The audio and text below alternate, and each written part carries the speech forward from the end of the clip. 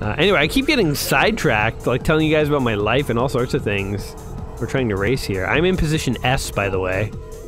Pretty good position to be in, but I'd rather be in position. What's the next one after S? R? Oh, four. Oh! oh, I get it. That was a five.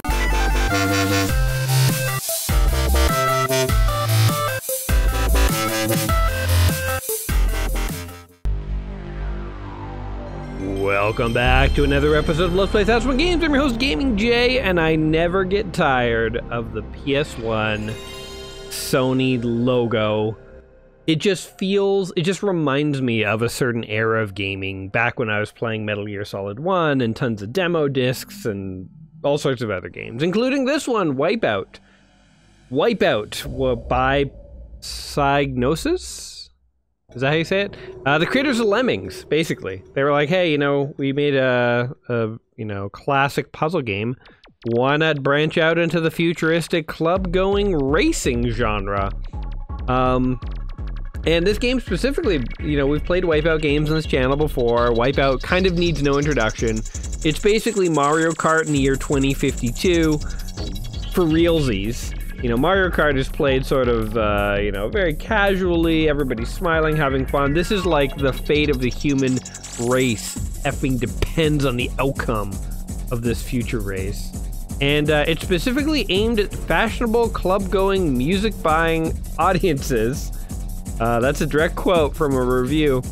Um, and it, it's because, uh, you know, Wipeout is known for having lots of like club and trance music in it while you race. It's sort of its thing. It's sci-fi Mario Kart with club music. I think even the the Hackers movie that came out in 1995 featured a game inspired by this, sort of a fake game being played in a club. You know, um, I I went to a lot of clubs in my undergrad days, as you know, many young younger people do. Um, I never saw video games being played in a club. Most of the time, people were just uh, dancing and drinking. Uh, but anyway, I digress. Wipeout 25, uh, just Wipeout. I was going to say 2052, but just Wipeout. Uh, before we dive into the game, though, just quick channel announcement. We are like five games away from hitting our 700th game, wrapping up our seventh year of doing this. And that's right, I did do the math correctly. The 700 game is the end of year seven um, at the beginning of year 8 is 701. But for the 700th game, I will be playing Dwarf Fortress. And I have no idea how to play Dwarf Fortress, so it is going to be a live stream event. And I hope, I hope, hope, hope that you guys will come and join me. And as I am playing, tell me what the hell I'm doing. I watched a tutorial on Dwarf Fortress a long time ago thinking I was going to play the game, and after watching the tutorial I realized there's no way I can handle this.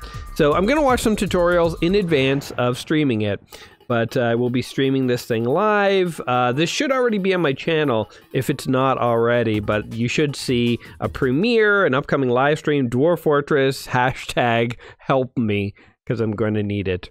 Anyway, enough talking about things to come let's uh, play the game here today. Actually, uh, I spent so long on the title screen that it seems to be spinning up into a uh, into a demo, and I I actually cannot undo this loading. So here we go. All right. Let's go in ourselves. Um, but yeah, anyway, I'm very excited about Dwarf Fortress. I know it's the basis for Minecraft. Um, and other than that, like I don't know a ton about it. Um, but I know it's like it's kind of like you can do anything you want in it. Um, like there's there's so many options, and you can, you know, mine and build and build cities and all sorts of stuff. Um, I think anyway. I mean, who knows? I'll watch the tutorials before I play. But anyway, yes, come come at the end of the month. Uh, again, you'll see the premiere date already on my channel. Come help me. All right, let's do a single race here and wipe out. And what are these letters even? Is this AG? It looks like backward six and forward six systems. I have no idea. Okay, I'm, I, I guess I'm selecting my craft, so we'll go with this. The wipeout, oh, I like it's like an angry monkey. We'll do angry monkey. I, I do like the simplicity of the wipeout craft. They feel sort of like half spaceships, half like hovercraft. Like it has a very cool style. Um, and actually, I'm going to turn this up a little so uh, I can get some of the sweet tunage. Um, these are actually like house and trance songs by real artists, I believe. So hopefully this video doesn't get like copyright striked um, for uh, for using it. Although actually these days, uh, you know, I feel like I mean, so I've been doing this this quest for like seven years. Seven years ago when I started, I feel like it was way easier to get a copyright strike. Um, nowadays, people like do reactions to like full movies, and they'll they'll like leave full clips of the movies and stuff off. The one time that I watched a video on my channel, I watched it uh, with two of my friends as a special event. We watched The Wizard, and I was very careful not to include actually any scenes from the movie. We had some still images as we were watching and talking. Um, you can find it on my channel if you are curious about this. Um, I did put it up for everyone who missed the live stream to see. But uh, yeah, I mean, I feel like if I were to do this today, what do they activate? Shields? Um, I feel like if I were to do this, if I were to watch a movie on my channel again today, I wouldn't actually need to uh, do any of that. I could just literally show the movie. I mean, I have to edit it down a bit, so I'm not showing the entire movie. But uh, yeah, it sort of seems like copyright has really loosened up on YouTube, which I'm a huge fan of. Um, I've always talked about how the copyright strike system was a little um, not only unfair, but it was stifling creativity. And like I understand that like if you make a movie, you don't want it streamed for free on YouTube, but if somebody's like commenting about the movie as they watch it, that's a little different than just straight up, you know, streaming. Anyway, long story short, I uh, I have sort of thought of maybe doing some a few other movie watchings on this channel. I know I know primarily we'll always stick with playing games, but uh, you know there are some movie-based video games, or sorry, some video game-based movies. Yes, you know like Mario Brothers, Street Fighter, Mortal Kombat. You know, we already watched The Wizard together, but even that one might be due for a redo at some point because I didn't really show any clips. I don't know.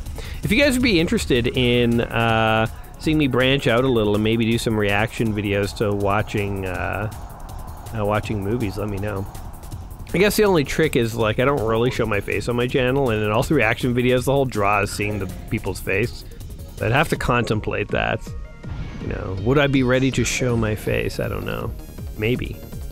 Maybe not. We'll see. Anyway, but if people are really interested in it, uh, let me know one way or the other. Um, but uh, how did I get on this? This. oh, I was talking about the copyrighted music. Yeah, like the worst YouTube does is claim your ad revenues, and like if I were a big channel, I think I keep dropping mines.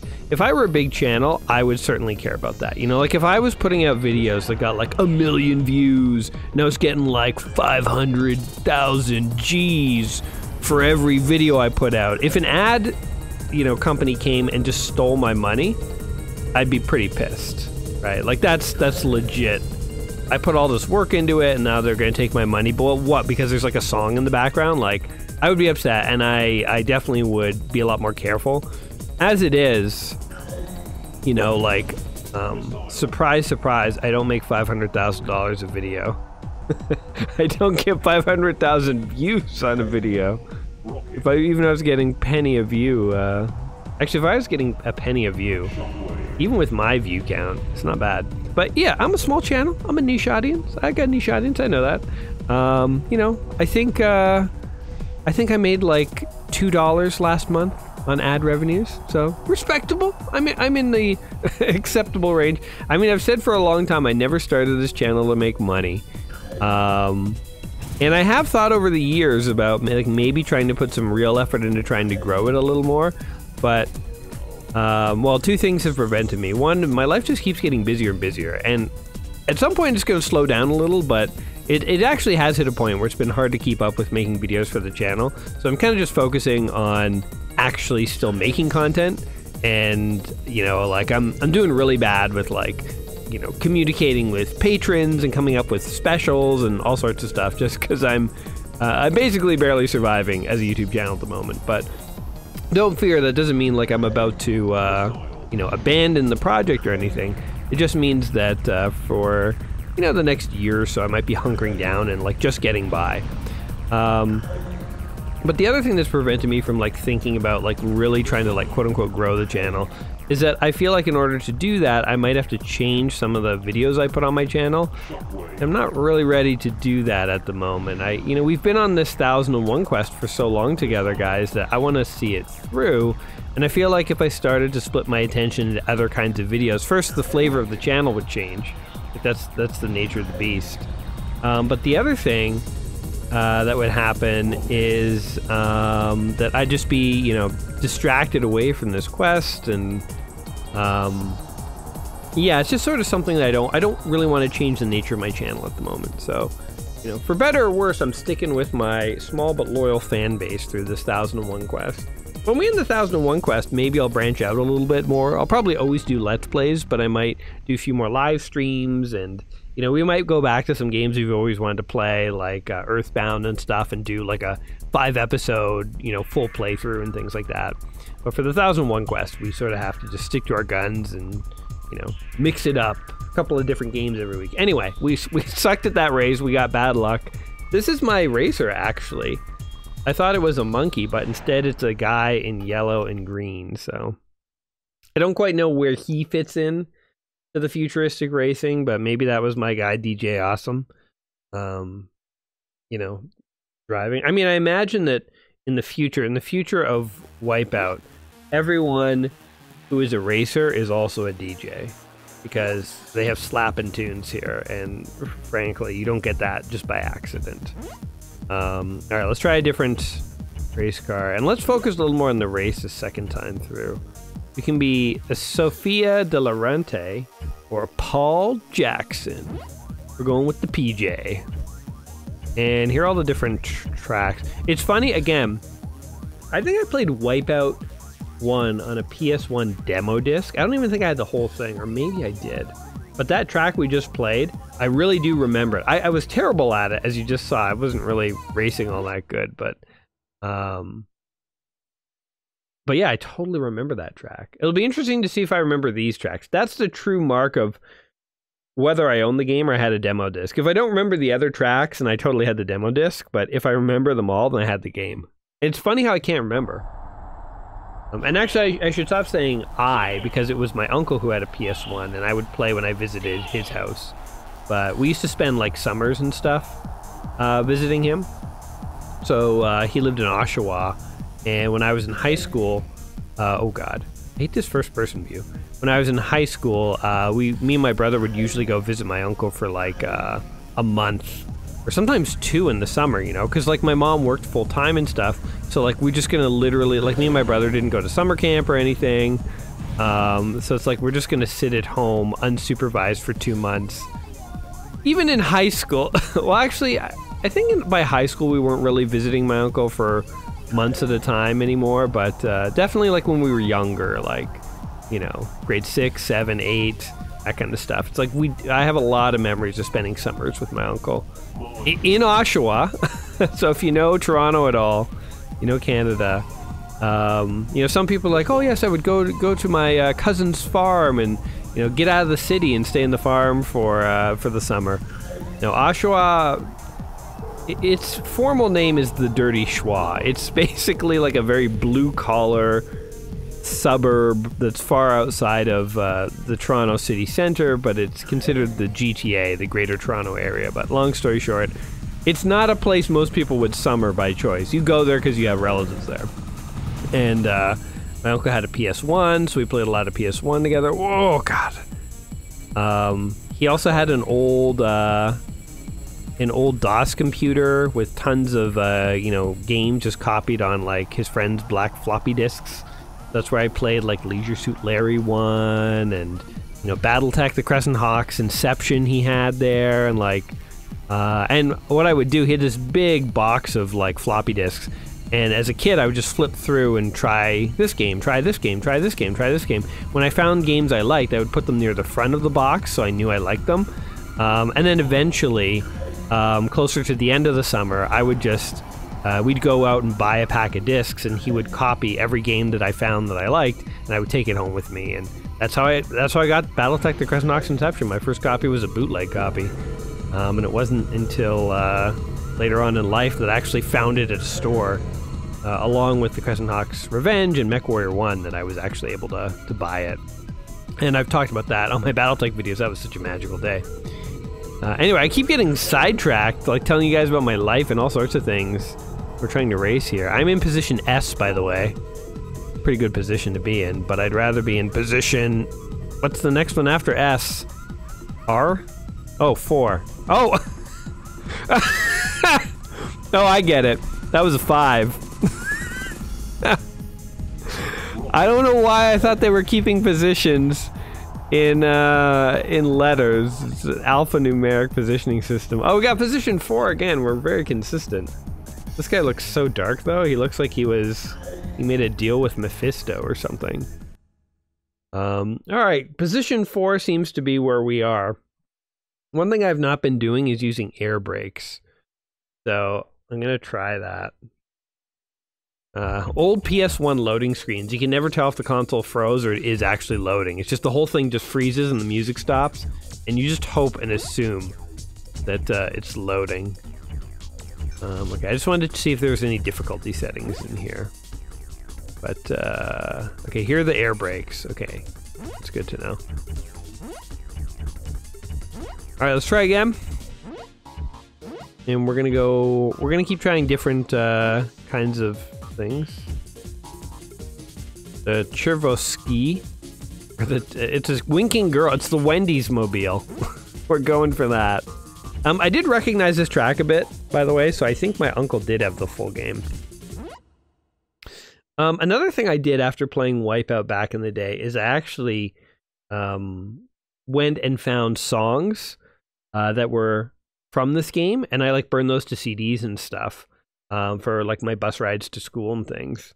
Um, so I like actually discovered music through this game. Not every song. I will say that generally I'm not sort of a trance house music kind of guy. Not my favorite genre of music by any stretch. Um, but that said, it's like there are some, uh, you know, good good tunes in this and uh, good tunage. And so, uh, okay, let's try this air brake. Yeah, okay. Jesus. Helps me turn, but it doesn't help me not hit the wall. Jesus. Oh god, I'm just like ping-ponging everywhere. Jeez. I kind of want to go back to the um, initial track and just try and do a better job of it. Oh my god, this is hard to watch, I'm sure. Jeez. One thing that is tricky about these hovercraft is because they're basically just hovering over the air, they really have no friction. So if you do sort of an air brake to turn in one direction or the other, you don't necessarily like grip on the road in the same way like a car would. Oh my god, we're not gonna make it! Oh god! I like how we're in a hovercraft jet thing and we're afraid of falling into a pit. Can you even fall in that pit? I don't 100% know, but I don't want to really find out. Whoa. Oh, God. Even when I played this at my uncle's, like, over and over again in the, the summer, I used to visit him, I don't think I ever really got good at this. I My way of playing Wipeout is to always ping-pong around the walls and stuff. Just sort of like how I, how I play which is, of course, poorly, is what I'm trying to describe. I'm just not using that word. Um, I think another thing with Wipeout, and I've talked about this in the other Wipeout games that I have played on this channel, is that um, Wipeout. Oh, you bastard. Um, Wipeout's items don't really feel nearly as impactful as in Mario Kart. So, like in Mario Kart, when you use a mushroom to give yourself a speed boost, it's kind of noticeable or when you hit a banana peel, like you really wipe out. Here, if you hit a mine, it is inconvenient and you do sort of get slowed down a little, but it's just a little, you know, like it's just enough to be noticeable and then that's it. Um, or like hitting people with a missile. Like, I mean, I guess that stopped them, but it just, everything just feels less impactful item wise in Wipeout than something like uh, Mario Kart. Crap. Keep hitting these things at bad angles, I think. Oh god, like that. Boost! Yeah, there we go. We finally boosted correctly-ish. Damn it. I think something else that I've been doing is just every time I'm about to grab an item, I just throw away whatever item I've got so my inventory slot goes free and I can actually pick up the item. Oh, I think I just mined that guy. Um, we're gonna get position five, aren't we? We didn't even get four. Oh my god, what, who is this? Yikes. Um, wow, we've, we're actually doing worse now. Okay, we don't want to pick the Wendy's mobile. Oh, that's Wendy, of course. Wendy's mascot, Wendy. Um, you recognized her, right, guys? yeah, I just sort of keep trying to grab whatever item I can. I should be more. Let's start to be more strategic about this. And we only have one more set of cars to cars, whatever the hell these things are. Ooh, I like this one. The sort of firehead dude. Okay. the interesting thing is, will an ice level even make a difference? When you have no traction because you're in a hovercraft, ice becomes every track is an ice track. They all feel slippy as hell. You're you're literally driving on air. There is no road. Um, I guess we will see. We're in Greenland, by the way. I haven't been paying attention to the locales. I'm pretty sure Canada was one of those tracks. That's kind of cool. Now we have to change our view. I don't know what kind of madman races first person, but it's never been me. Oh god. We have the shield activated. Oh god. Okay, maybe it is a little more slippery. Um, oh god. Okay, so this, yet again, we're gonna do poorly on this track. Here's my thinking. I think I need to practice a track a little before I can get good at it. And that very first track is probably the most iconic Wipeout track of all time. Everyone who's played the demo and the game has played that track a lot. These later tracks, I don't know, I feel like they're not nearly as iconic. And the first one probably is one of the easiest ones. So here's my thinking. After I fail at this track, which is clearly I'm on, definitely on the path to make that happen. Uh, we'll go back and we'll practice that first track a couple times. Oh my god, that was a pit. Oh, thank, somehow we landed that. Um, we will lay, we will practice that first track, play it a couple times, and we will get better than fourth place. Oh my god, I'm just so bad at this. One wall after the other. I think the later wipeouts, oh god, the air brake did nothing. Later wipeouts feel like they got easier. I don't know, because we play again. We played other wipeouts on this channel. I'm pretty sure, like, I placed in some of those other wipeouts that we played. I didn't play this terrible. I know I'm getting old, but like this is this is there's no excuse for this. Oh God. Yeah, I, and I'm also like kind of waiting to recognize some tunes. I feel like, oh wait, can we CD track? Palindrome. Do I reckon? Oh, message. Hold on. Oh yeah, I do recognize. Okay, now suddenly we're going to be motivated here to do better. This track, man, I remember having this on burned CDs. I think the fall that I returned home after spending the summer my uncle's playing Metal Gear Solid 1 and Wipeout, I had this song and I had like the Mantis hymn and Rex's Lair and a couple other songs from Metal Gear Solid. So if you know the Mantis hymn, Rex's Lair, you can look them up. They're like iconic uh, Metal Gear Solid 1 uh, Metal Gear Solid 1 tracks. Oh man, this just energizes me.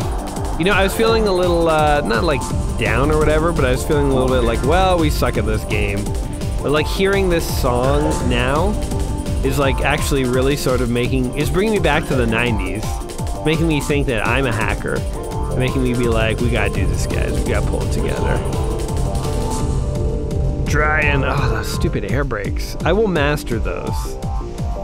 By master, I mean be a little less worse at them by the end of today. Oops.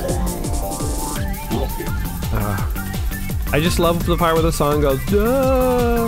and the sort of chorus part starts. Oh yeah, we hear the crowd cheering. I just had the volume too low. That's why this game wasn't energizing me. I feel like I'm at a rave. I love how the music echoes when you go through the tunnel. I don't think I remembered that. Oh, and it feels like it's echoing kind of right now because we're in the mountains. Whoa. I don't know if I ever appreciated that. Now it sounds like really open. Wow. The audio. Wow, who is this? Looks like she's sad she lost, and also a bunch of wires are plugging into her skull, downloading her brain. Wow, the audio effects in this are really good. Forgot about this. I like how it says bad luck, as if it was just like, well, you could have won, you just got a little unlucky. No, I suck, dude. Should just say you suck. Alright. We're going in. And we're gonna master this puppy. We're going in with the John Dekka. No Daniel Chang for us. First arena. In Canada! This one is okay, well. My favorite Wipeout song in Canada. The most famous uh, track of the most famous Wipeout game. I mean, we got we got to get first in this one. There's there's absolutely no excuse. We'll do it like let's give ourselves a limit of like two or three chances. But uh, I just wonder, like, if, if I would recognize any of these others. I think Message for sure I know, but anyway. Alright, here we go, boys. Go! Time to bring the A game. I'm gonna actually concentrate now. No more stories about uh, my life before Wipeout. Only all that matters now is Wipeout. Missed him. I'm gonna try and use the item strategically too. Also, like, if it's between an item and a boost, maybe I should be going for the boost shoot. God. Like, the boosts do seem to matter. I just boosted into that guy. Ow. Yeah, this is just a practice run anyway to, like, remind me about the layout of the track. Gonna save this rocket. Fly right at that guy. Missed him. Gonna save the shield for the right opportunity. Ah, hell, I'll use it now. Oh, we almost did that e-brake turn. Oh, he's protected too. I love the echo effects that we get. This is great. Yes. Oh, God. I'm starting to just kind of remember. You kind of have to sort of like bounce and bob around. It's a very floaty racing game, obviously. Oh, down you go. Oh, that didn't do anything. Wait, and he's past me.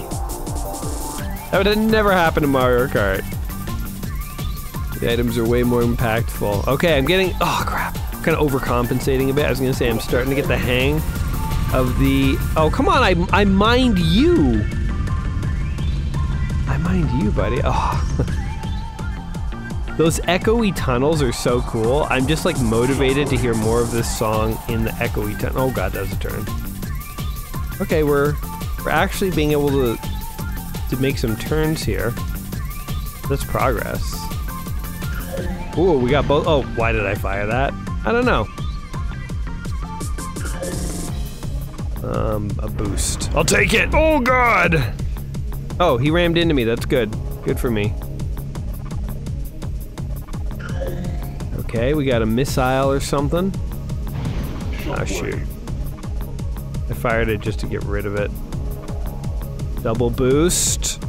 Yes. All right, we're in position four. There's a third place guy. Oh, we did an e-brake turn. Finally. Ah, oh, crap. And then we hit a wall. But baby steps. Oh, God. Oh, God. Oh, God. I was all over the place there. Oh, crap. Come on. The third place guy. We've never gotten third place. Oh, wait! No, that's a different turn! I thought we had to turn right. Oh, come on, he's right there. This is giving me, like, for some reason, flashbacks of, like, Gone in 60 Seconds, that, like, Nick Cage movie with Moby songs that came out around this time. I guess because we're playing, like, a racing game with, like, 90s era club music and stuff. Shit! Ah, oh, we messed that up so bad. keep saying we. It's kind of all on me. Sorry, guys. I'm letting down the team. Shit! Ah, we're so far back. Ah, we got missiled. Everyone's cheering me for some reason. Ah, oh, God. Bastard. You know, when I did play this, I do remember it took a lot of practice, but I think I was able to, uh, I was able to actually get like first or second place in this race. I don't know how I did it. I mean, I guess just practice. Although we're not, we're kind of almost getting to third. Something. Hey, where's this bastard? There he is. Oh, we actually missiled him and then we drove into him. Oh, come on. No, come on. Unfair. Okay, we double boosted. Yes! Third! This has never happened before. Okay, where's second place? Where's first place? I want to get them all. Well, the boosts really do make a difference. But I guess don't get a boost at the expense of uh, hitting a wall. Ooh, now we're flying. Who's firing a rocket at me? Oh my god! Second place, boys! Yeah! Oh god. No! Ah, shit. Oh, we're so close. No, no, no, no, no, no, no, don't you rocket me! Uh, I have a missile. I will missile you if you pass me. Oh, you, yeah, you want to try it. Oh! Oh my god! Second place! Jeez. Woo, I feel like I really had to work for that. Well, now I kind of feel like, you know, I did say we were going to practice this over and over, but like we just got second. I say let's try one more different track. That was me in tryhard mode, and I was actually able to pull it together. I feel accomplished for that. Okay, we're to try a different track just so you're not watching the same track all the time. But that Messij song makes a world of difference. It's like just having the right tunage um, can really drive you. Um, okay, we're gonna pick that. Like this is the the car or whatever that you had in the demo, which is a. I, I'm pretty sure we had the demo first and we had the real game. I think that's the way it worked. Um, but since this is the one that I think I know the most, I'm gonna stick with it. And we're gonna go Venom class track two here, which is Japan. So we got second place in Canada. How can we do here in Japan? I don't know. We will see. I don't want to promise you guys anything because I don't want to get your hopes up. But you know, we saw what can happen. I was messing up too in Canada for like the first half of uh, you know the race, and yet we still managed to pull second out. I think with the right level of effort. Oh god. Okay. Oh god. Oh god. Oh god. Okay. Rocket. Oh, that actually hit him. It's so fun to hit with the, uh, whoops, with the unguided rockets, because it feels like firing a green uh, shell in Mario Kart. Yeah, I know I, oh, you bastard. I was gonna say, I knew I could shoot that guy at any point, but I was waiting for the opportune moment. And then he goes and uses a shield. Like a jerk. Whoa! I'm bouncing all over the place. Oh, I actually hit him in the air! Eat that dog! oh, that was great. Yeah, you can't fire a rocket in a curvy area like, oh my god, yes you can. I'm gonna say in a curvy zone like this, there's no way it'll hit. Alright, we're in, oh crap. Oh shoot. Well, there's two of them right there. Ooh. Yes, please. Sometimes I hit a uh, power up and I uh, think it's a power up and it's actually a booster, and that throws me off a little sometimes. Ooh, but now, oh shit, overcompensated there. Oh wait, where did that guy go? He just disappeared. Okay, I don't know what was going on with the fourth place guy. He phased out of reality. I thought he was in front of me. Okay, Oh, you bastard. Oh no! So hitting the other cars isn't great for your speed, but hitting the walls oof, seems to be particularly bad. Ah, you bastard. Yes! Fourth place! Okay, we got one more lap. There's a third place guy, too. It can be done. Rocket. It can be done. Missed him. Oh! Did that actually hit him? Did. Rocket, mine, missile. Jesus Christ! Oh my god, no. Mmm, yes! I'm battling! There's a second place guy! We can do this! Oh my god, I'm actually not hitting the walls! It's unbelievable, where'd he go? Where's that second place guy? Where did he go? He just like pieced out. My toes are curled, by the way. My palms are getting a little sweaty. That's how you know you're really getting into a game. Palms sweaty, toes curled. Oh, what the hell is this? Oh no! Oh, yeah, die! No! Oh, on! Third! we got it! Literally photo finish. All right, it's not second. It's not second, but uh, it's pretty good. Wow, two nail biter of uh, two nail biting races. That's pretty good. I mean, again, I mean, I thought I raced better on this one than I did the previous race, but I only got third here, whereas previously I was able to squeak in and get second. But yeah, wow. Look at the progress you can make with just a little bit of effort and practice. We've been playing this for what half an hour, and already I'm starting to place. I think with a little more practice, I could sneak in a first place win. But uh, I think for today, for us, this is as far as we're going to go. Wipeout here is one of the classics, one of the most classic PS1 games. It launched a franchise. It. I sort of have mixed feelings about it. Like, I do like Wipeout. As you could tell, I was really getting into the last two races, really enjoying myself. It does have like a fun, floaty feel to it. Um, I still do feel like the weapons and the items are not as impactful as I want them to be. And there's a certain um, it's sort of hard to place my finger on it, but there's like a certain difficulty to it that I don't find in other racing games. Like, um, I've always thought of Wipeout as very similar to another game I really like called Whiplash, which is basically NASCAR style cars, um, but going through like loops and jumps and like crazy Hot Wheels kind of things, and you can destroy other cars and stuff. There's no items. But in Wipeout, for some reason, I find it much easier. So the, the fact that these cars are floating and hovering, and when they hit a wall, there's a huge penalty to speed. Um, I think those things combined make this feel like a slightly different racing game. So things feel very floaty.